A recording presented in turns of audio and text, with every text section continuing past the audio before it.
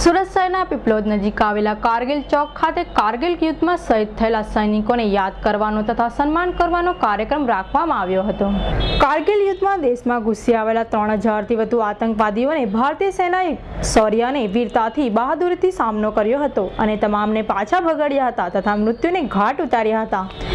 શહીદ પરિવાર પ્રત્યે કારગિલ દિને અનુકંપા વ્યક્ત કરવામાં આવી હતી. આજે કારગિલ દિવસની ઉજવણી.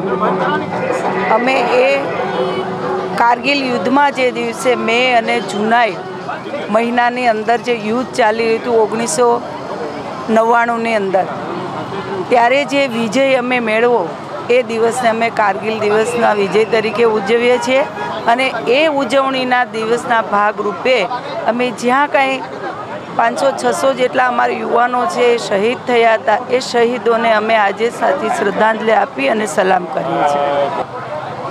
કારગિલ ચોક ખાતે આજે શ્રદ્ધા સુમનનો જે કાર્યક્રમ રાખવામાં આવ્યો છે, ખૂબ મોટી સંખ્યામાં અહીંયા લોકો ઉપસ્થિત છે.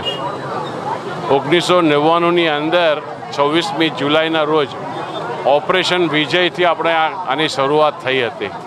અને દુનિયામાં જેટલા પણ ઊંચાઈ પર જેટલા યુદ્ધ લડાયા છે, એમાં કારગિલ યુદ્ધ પહેલા નંબર પર આવે છે. લગભગ પાંચસો જેટલા આપણા શહીદો જવાન થયા હતા. ગુજરાતમાંથી લગભગ છ શહીદો જવાન થયા હતા, જેની યાદમાં આપણે આજે આ કારગિલ ચોક ખાતે શ્રદ્ધા સુમનનો કાર્યક્રમની ઉજવણી કરીએ છીએ.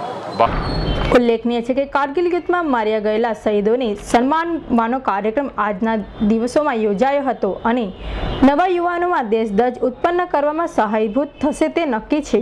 Bureau report S nine news Surat.